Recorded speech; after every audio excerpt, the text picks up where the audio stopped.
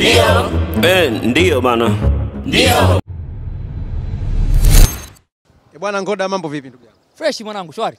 Shwari. mchezo mchezo wa marejiano Simba dhidi ya Nyasa Big Bullets umemalizika kwenye uwanja wa Mkapa. Simba anashinda tena kwa mabao mawili na kufuzu kwenda hatua ya kwanza ya ligi ya mabingwa Afrika. Uh, kwa namna ambavyo Nyasa Big Bullets na rekodi walionayo kwenye ligi yao hawajapoteza kwa zaidi ya michezo ishirini, lakini kwenye ligi ya mabingwa ni kitu kingine kabisa. Simba wamepata matokeo na kuwaondosha. Uh, ni kitu ambacho ulikuwa unakitarajia? Uh, kuna uwezekano ikawa si kitu tarajiwa kabla ya mchezo wa kwanza ambao ulichezwa kule Lilongwe, Malawi. Hakuna mtu ambaye angeweza kutarajia hiki ambacho kimetokea kwa Bullets. Bullets ambayo ina rekodi ulioizungumza, Bullets ambayo uh, imedominate kwenye, kwenye mpira wa, wa nyumbani kwao uh, Malawi, lakini uh, kilikuwa ni kitu tarajiwa baada ya mchezo wa kwanza Simba kuonesha uh, ukomavu na ukubwa wake, kuonesha kwamba wao ni timu ambayo imeingia kwenye kwenye, kwenye robo fainali mara tatu katika miaka mitano ambao walishiriki michuano ya kimataifa na kupata ushindi wa magoli mawili kwa bila kwenye, kwenye, kwenye uwanja wa Bingu eh, kule Lilongwe ilianza kuonyeshwa njia kwa, kwa, kwa, kwa Simba kwamba ni wapi ambapo wanaelekea na ni kitu gani ambacho wanaweza wakafanya kwenye, kwenye haya mashindano ya mwaka huu. Target ni kubwa ya kufika nusu finali, lakini unafikaje nusu finali kama hauoneshi ugiant wako kwenye, kwenye hizi round za awali? Unfortunately wameanzia huku, lakini wanaonyesha kabisa kwamba wana, wana dhamira ya kufika eh, kule ambapo wamekuwa wame, wame determined kufika kwa, kwa msimu huu. Mchezo huu ni mchezo ambao uh, uliendelea kuonesha kwamba Simba ni timu ya namna gani na imedhamiria nini kwenye haya mashindano kwa kuonesha mpira wa kushambulia licha ya kwamba walikuwa wanaongoza kwa magoli mawili kwa bila. Nilimuuliza kocha Mgunda baada ya mechi kwamba ilikuwaje mechi nzima unafanya sub moja ambayo ni defensive moja tu ya Inonga kwa, kwa, kwa, kwa Watara eh, hali ya kuwa nafasi ama substitution zote ulizofanya zilikuwa ni attacking wise. Kwa nini? Akasema kwamba ilikuwa lengo ni kushika mchezo, yani lengo ilikuwa ni kukamata mchezo. Na ukamata vipi mchezo? Lazima wa threaten wapinzani kwamba eh, bwana vipi, watu wanaoingiza wote ni attacking minded. Kwa nini? Kwa, anaongoza goli mbili au kashapata magoli mawili mengine.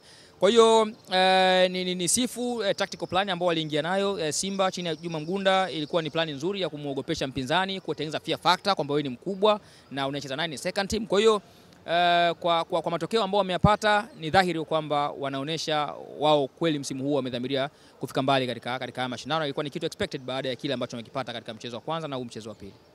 Uh, msimu uliopita Simba baada ya kushinda magoli mawili ugenini dhidi ya Galaxy walikuja kwenye mchezo wa marejiano hapa wakapoteza na wakaondoshwa kwenye mashindano wakaenda shirikisho.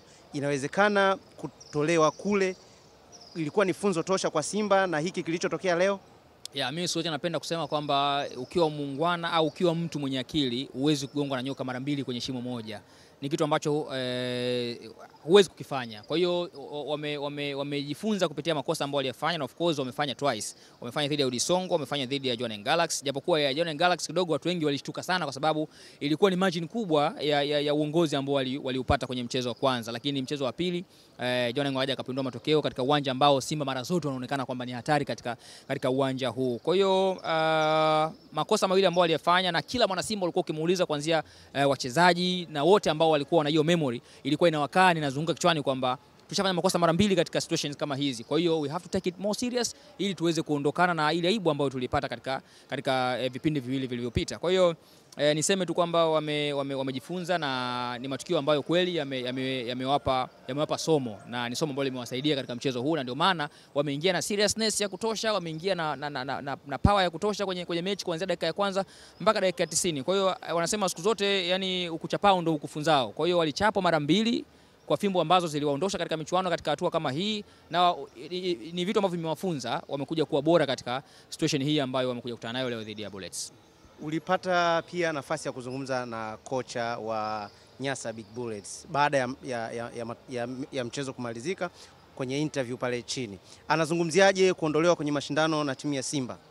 Amekiri kwanza ubora wa Simba kwamba Simba ni timu bora e, ni, ni, ni timu nzuri, lakini pia alikiri kwamba wachezaji wake kuna, ba, kuna, kuna nafasi ama kuna mazingira ambayo walicheza nje ya maelekezo yake, na ndio maana ulimwona hata Babatunde aliingizwa na kisha akatolewa Kwa hiyo situation kama hizo wanasema kwamba ilikuwa inaonyesha dhahiri kwamba kuna vitu ambavyo walipanga kuvifanya wakiwa nje, lakini baada ya kuingia ndani accomplishment ilikuwa ilikuwa nyuma au ilikuwa hakuna kabisa. Kwa hiyo eh, alikiri kwamba Simba wame, wame capitalize kwenye makosa ambayo waliyafanya wao tena kwa kujirudia eh, katika mchezo wa kwanza na walielekezana. Ndio maana katika mchezo huu hata Idana Chimwemu walianzia bench, na nafikiri ni kitu ambacho walipanga tangu kule kwamba kuna kitu tukifanya moja mbili tatu, this time around tuende tofauti, na kwenda tofauti na maana kwamba sio tu kuna tofauti kimbinu, mpaka wachezaji kwa sababu huwezi ukakuingia akilini kwamba mchezaji kama Chimwemwe Idana anaweza akaanzia bench kwenye mechi muhimu kama hii ambao wanatafuta matokeo, lakini aliona kwamba sasa ni wakati sahihi wa kumuingiza, though haikumsaidia. Lakini haikumsaidia si kwamba kwa sababu yeye hayuko bora, hapana, ni kwa sababu alikutana na mtu ambaye yuko bora zaidi yake, alikutana na mtu ambaye amemzidi mbinu kuliko mbinu alizo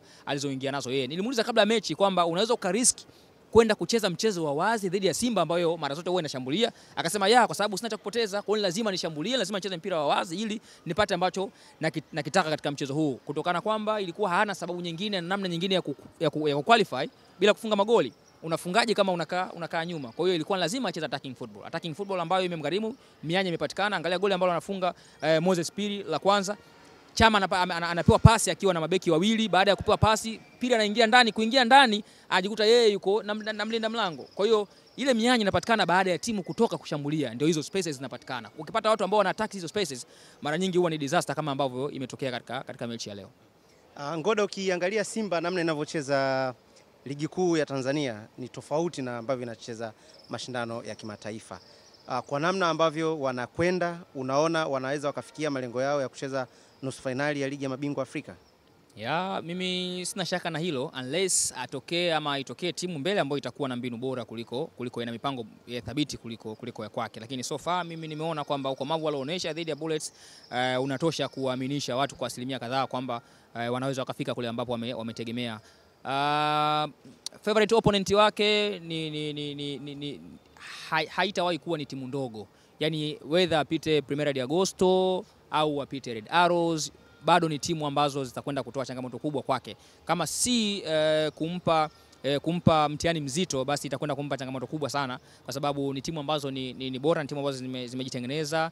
Eh, de Agosto hamna mtu ambaye ifahamu. Recently wamefanya vizuri sana kwenye michuano ya kimataifa, kwa hiyo ngoja tuone kitu gani ambacho kitakwenda kutokea, lakini so far uh, ukiniuliza swali kama hilo nakwambia wameonyesha kile kitu ambacho kinanifanya mimi na mwingine aseme kwamba wanaweza wakafika kule ambapo wametegemea. Tumalize na mtoto wa nyumbani Juma Mgunda.